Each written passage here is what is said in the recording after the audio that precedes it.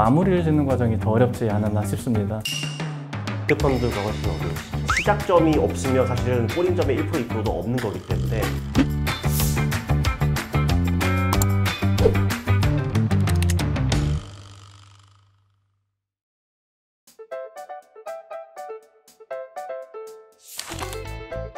예, 안녕하세요. 저는 한국벤처투자에서 근무하고 있는 이진석이라고 합니다.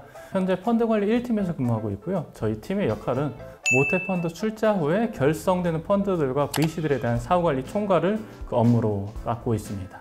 안녕하세요. 저는 인라이트 벤처스에서 근무하고 있는 손민호라고 합니다. 저는 이제 투자 심사역으로서 활동하고 있고요. 주로 deep tech라든지 첨단 기술 분야 기업들을 찾아서 발굴 투자하고 있습니다. 금융의 구현이라고 생각하고 있습니다. 여기서 말씀드리는 금융은 돈이 마땅히 흘러가야 할 곳으로 가게 하는 것이 금융의 핵심이라고 생각합니다. 저희는 출자를 통해서 금융을 구현하는 것을 목표로 하고 있습니다. 저는 하나의 가정을 꾸리는 과정이라고 생각합니다. 소개팅을 해서 나에게 맞는 짝을 만드는 과정이라고 생각하고요. 하나의 가정을 꾸리는 과정이 펀드 자체를 만드는 과정과 흡사하다고 생각을 합니다. 마땅히 가야 할 곳으로 돈이 가게 해야 하는데 그 마땅히를 정의하고 산출하는 것 자체가 무척이나 어렵고 저희 업무의 본질이라고 생각을 하고 있습니다. 그 메인 출자를 받고 그 부족한 나머지 40%, 30%, 20%를 줄여가는, 모아가는 과정이 가장 어려운 부분이라고 생각합니다.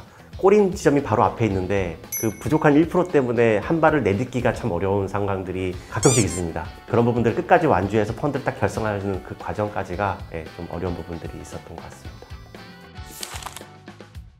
최근에 다른 회사의 출자 심사 때 외부위원으로 참여를 했던 적이 있었습니다. 제가 이제 다른 VC 분들께는 당연히 이 친구는 그 모태펀드의 직원이라고 알려져 있었을 텐데 제가 그 다른 회사 딱 이렇게 심사위원으로 앉아 있으니까는 제가 왜 여기서 나와 하는 식으로 이렇게 당황하면서 보셨던 기억이 가장 재미있는 기억으로 남아 있습니다.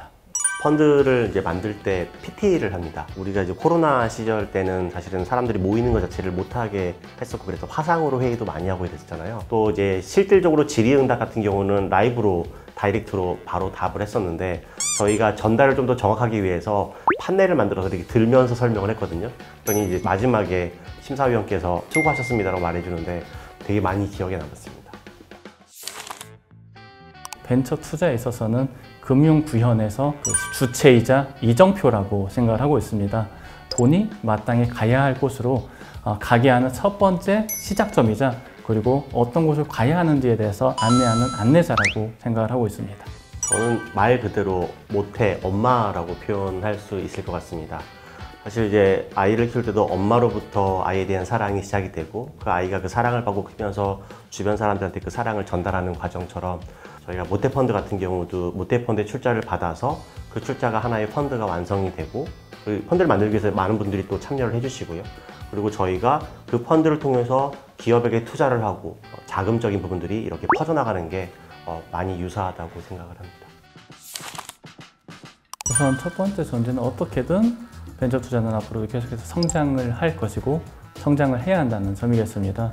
어, 현재는 벤처 투자가 그 대체 투자의 한 분야로 그렇게 인지가 되고 있습니다. 그게 맞는 정의이기는 한데요. 그러나 한계를 깨고 더 성장을 하기 위해서는 전통 투자의 영역으로 어느 정도 넘어가야 할 필요가 있다고 생각을 합니다. 미래에는 자연스럽게 대체 투자의 벽을 깨고 허물어서 전통 투자와 대체 투자가 그렇게 혼합된 영역으로 될 것이라고 네, 벤처 투자의 미래를 전망해 봅니다. 저는 그냥 한마디로 대박이라고 말씀을 드릴 수 있을 것 같은데요. 그것처럼 벤처 투자를 할 때 이제 어떤 어떤 분들은 투자를 하고 왜 바로 결과가 안 나와라고 이제 말하시는 분들이 있거든요. 그리고 그러면 아, 이거는 필요 없는. 그리고 뽑아버리시는 상황도 발생될 수 있습니다. 그러니까 그거보다는 벤처 투자는 그 빠르게 성장하진 않지만 그 기간, 그 숙성되는 5년의 기간 동안은 밑으로 뿌리를 깊게 내리고 있고 어느 한순간 급격하게 성장을 하거든요. 그래서 그러한 산업들이 우리 벤처 펀드들이 계속 만들어지고 계속 투자를 하면 우리 기술이 세계를 주도하는 그러한 한국계 벤처 기업이 성장하는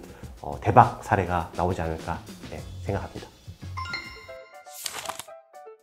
저희 한국벤처투자의 미션은 더 나은 벤처 투자 생태계를 조성해서 국가 미래 발전에 기여하는 것이라고 정의가 되어 있습니다. 그러나 이 미션은 저희 혼자서는 할 수 없다고 생각합니다. 한국벤처투자뿐만 아니라 여러 VC 투자사들이 함께 해주셔야지 가능한 미션이라고 생각이 되고요. 물론 지금까지도 계속해서 그래 오셨지만은 앞으로도 지금까지 그러셨던 것처럼 계속해서 저희의 미션에 함께 동참해 주셨으면 하는 바람입니다. 물론 이제 모태펀드가 현재까지도 많은 자녀들이 있지만 그래도 앞으로도 지역이라든지 초기 기업, 여성이라든지 이러한 부분에 대한 다양한 분야에 대한 벤처펀드의 출자에 대해서도 계속적으로 고려해 주시고 관심 가져 주셨으면 좋겠습니다.